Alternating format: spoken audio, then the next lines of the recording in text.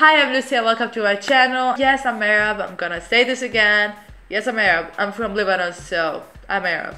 Okay, today in this video, I want to talk about the misconceptions and the things maybe you didn't know about Arabs.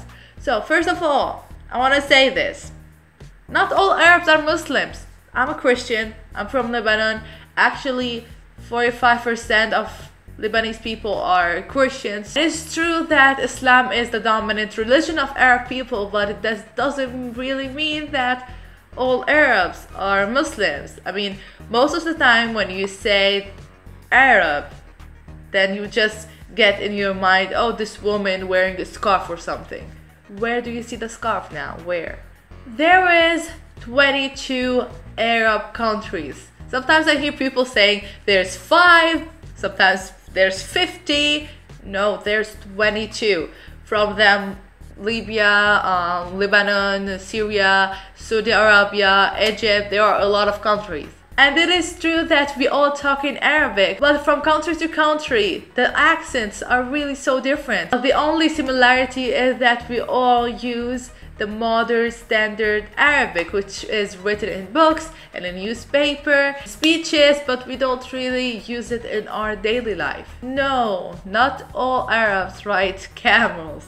It's so funny to talk about this, but I never really see camels anywhere here. Like I just seen a camel once in my life. No, Arabs don't really live in tents, don't really ride camels. Maybe in some parts of the desert they do. And no, not all Arab countries are in the desert. Lebanon is not in the desert for example. I don't really see any desert in here. Not all Arabs wear traditional clothes. Alright?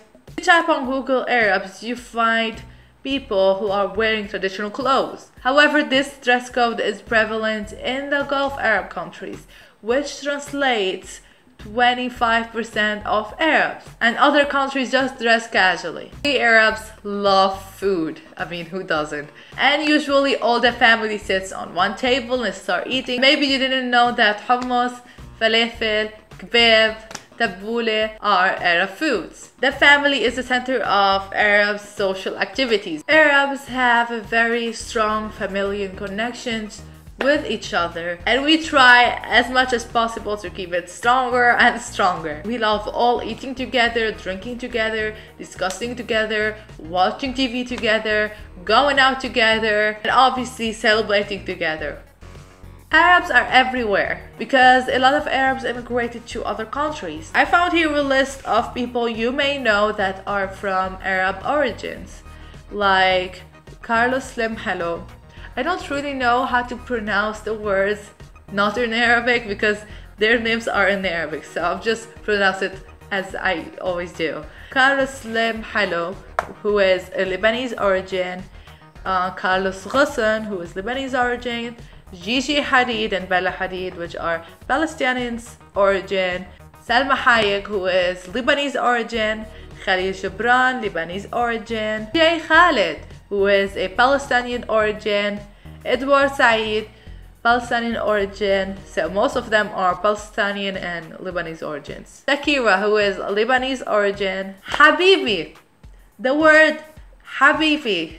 I have heard this word multiple times and be like, what does this mean? This means my love, my dear. A lot of people use this word, not really, but yeah, we say like, hello my dear, hello my love. So if you hear someone using it, it is normal. We use it here all the time, like, hello my love, hello habibi. So yeah, hope you like this video. If you want maybe a part 2 of this video, just tell me in the comments down below and tell me what you didn't really know about Arabs. Maybe, maybe I helped you knowing some new informations. Well, I would really be happy to know that. If you like this video, please put thumbs up, subscribe to our new videos because it will really mean a lot to me. Don't really forget to press the notification bell because YouTube is doing that thing again that is not notifying my subscribers when I upload new videos. So please do it. And hope you have a nice day and a nice week. And goodbye.